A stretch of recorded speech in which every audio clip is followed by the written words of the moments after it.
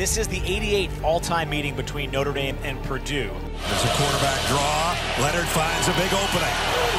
And still we'll get a first down and then some. Notre Dame's coming out in a physical manner early. Turns it down the sideline of the 30. Breaks away at the 20. Inside the 10. And Jeremiyah Love has a touchdown.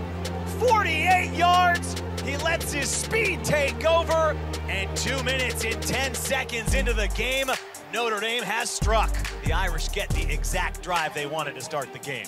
That's who we are, man. It does feel like Notre Dame is just dialing whatever they want to do right Everything's working right now. Run inside, run outside, run the quarterback, quick slants, everything they want is working. Blitz coming. He's going to go straight up the middle. Irish touchdown, Riley Leonard. That was too easy.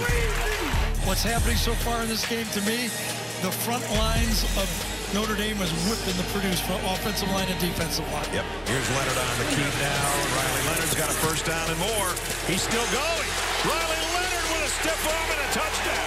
Riley Leonard just runs a lot faster than he looks. I know I look so slow. Bro, you always look slow when you run, but you're so fast at the same time. It doesn't make sense. They are confidently calling plays. They seem to know what they want on every play. Riley Leonard might be on the way to the end zone for the third time. Touchdown, Notre Dame.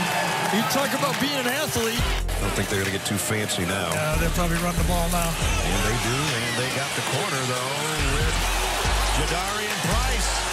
They might pay the price. Jadarian Price to the end zone. Touchdown, Notre Dame. 70 yards for the score. With four seconds left in the opening half, tracks. Hey, right before the play, say go break one. Phenomenal response by Notre Dame. And it started with speed by the running backs, blocking by the offensive line, and finishing drives with touchdowns. One of the best halves of football of the Marcus Freeman era. It's the largest margin of victory in the history of the Notre Dame Purdue rivalry. handle success by the way we prepare in the mindset. So we have to put the work in and respect every opponent ahead of us, man, just like we did this one. The trait that we need this week, man, is our leadership and our mindset to what we're gonna do as we go back to work. Enjoy it, man. I'm proud of you all.